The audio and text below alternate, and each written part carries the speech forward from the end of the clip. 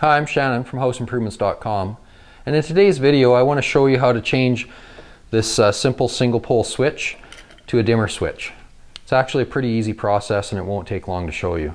First off though, I just want to mention that in most areas doing something like this can be done by a homeowner on their own without a permit, but just double check with your local authority to be sure that that is correct for your area.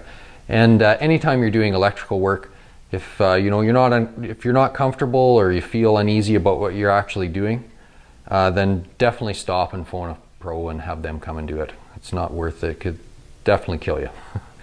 uh, and and as always, turn your power off. Don't work on anything live. Turn your power right off, and uh, then you're not going to have any issues that way.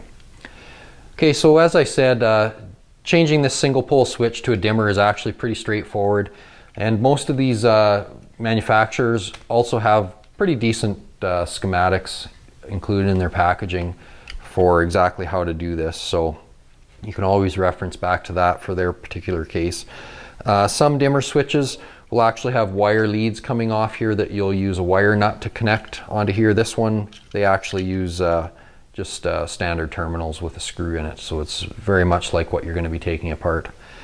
And uh, something else that's also helpful when you're doing any kind of electrical work, before you take something existing apart that's working, take some pictures just so you have something to reference back to in case you have a problem and, and you can't even remember how it was uh, originally when it was working.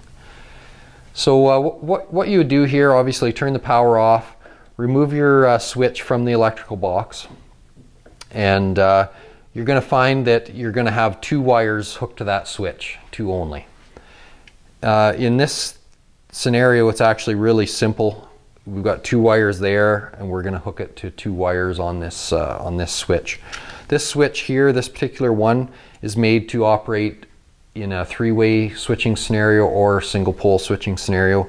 This sticker here is just indicating that the only time you would use the screw that's underneath it is in a three-way uh, application, and we're not doing that at all. So, so we simply have a black uh, spot here that we're going to hook the uh, power supply to. And this spot here is uh, the wire the other black wire that is sending power to the light. Okay? So we'll uh, start out by just uh, unscrewing and disconnecting this switch.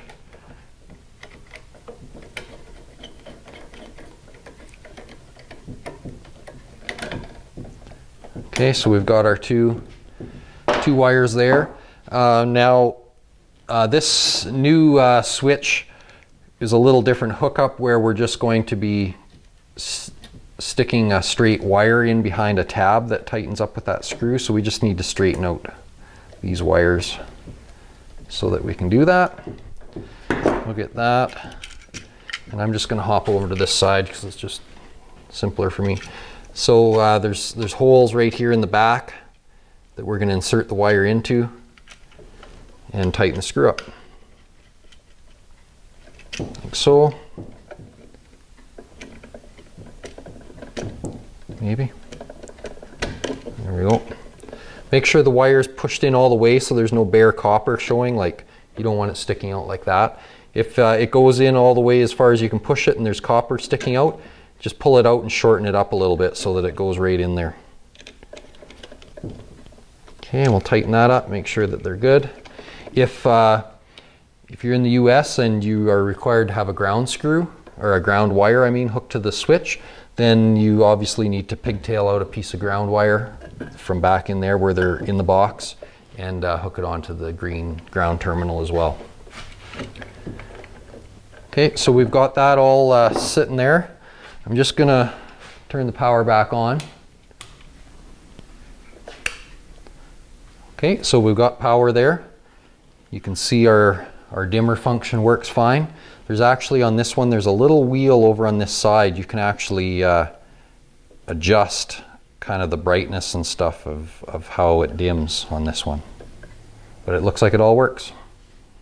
Shouldn't be any problems with it. So as you can see, like I said, it's pretty straightforward.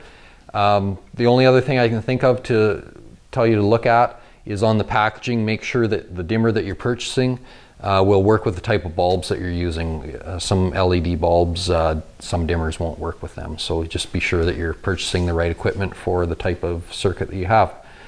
And other than that, if you have any other questions about this video or anything else uh, DIY related, you can come to our forum and post your question up there and I'll be sure to answer it or one of our other knowledgeable people will be able to get to it right away. All right, and uh, if you want to see more of our great videos and maybe help us produce more of them, you can also right now click the link just below here to our Patreon page and uh, go check that out. Appreciate it. Thanks for watching.